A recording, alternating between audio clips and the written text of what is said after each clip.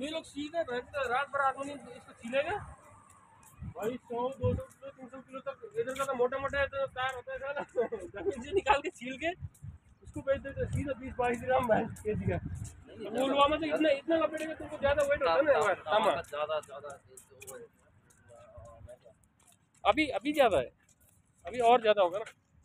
वो टाइम में बीस ग्राम रेट था लगा था अभी दस तो होगा कैसा बारह दस बारह तो होगा পুরো এবারে ইন্ডিয়ানরা যে জায়গা যাবে সেই জায়গায় ইয়ে বাংলাদেশি বাংলাদেশি সুন্দর গাছ লাগাইছে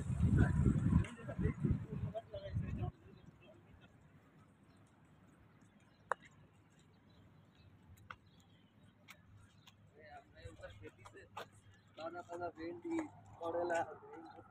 ভেন্ডি कबूतर कबूतर है कबूतर